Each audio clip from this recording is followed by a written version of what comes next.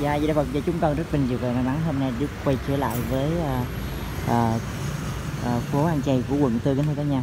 Chúng ta đi từ à, đường Hoàng Diệu mà chúng ta tính chạy đến à, ngã ba đường Nguyễn Hữu Hào. Chúng ta khi đó đi đến ngang đường à, Kim Liên, chùa Kim Liên số à, chùa Kim Liên chúng ta chạy đến đường Nguyễn Hữu Hào ngã ba nè, đến phường 6, đó là phường à, phường gì ta? Đây là phường gì không biết nữa. Để còn coi xem cái đường này đường gì. Là cư xá Vĩnh Hội phường à, phường ấy quận Tư không biết nữa. Bán cho con hai phần cơm nấm mang về đi Di Đà Phật. hết nấm nha dạ trời hai nhiều màu quá. Bây giờ hết nấm. Thôi bán gì ăn cái nấy vậy? À. ủa nấm trong canh cũng hết luôn hả gì đâu phật?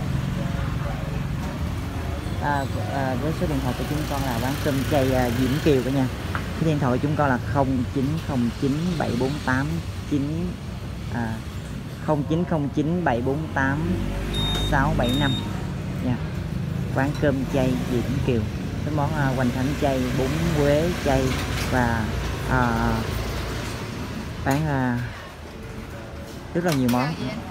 Rau gì cũng được bán rau gì ăn rau đấy nói chung bỏ hết tất cả các loại rau cho con là được rồi như được canh bún bún riêu rồi đầy đủ các món hết cả nhà. Ai có muốn ăn có thể đến đây phục vụ tùy thời gian nào. Đây mình 6 giờ sáng mình bán chưa gì đâu Phật? Dạ 6 giờ sáng.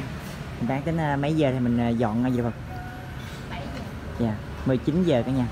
6 giờ sáng đến 19 giờ cả nhà. Bán cho con hai phần. Bán rất là đảm bảo vệ sinh nha cả nhà. anh Mọi người đây ai đến đây ăn cũng mặt bài phúc đức nhân hậu. Mặt ăn chay mặt tươi gói à. Và đừng quên số điện thoại của chúng ta 0909 748 675. Nha. Mọi người ai có ăn, ăn ở đâu cũng vậy, ăn ủng hộ dùm con, con vô cùng biết ơn. Có rất nhiều món để mọi người lựa chọn nha xin à, chúc phúc mọi người. Xin cảm ơn mọi người. Ăn gì đó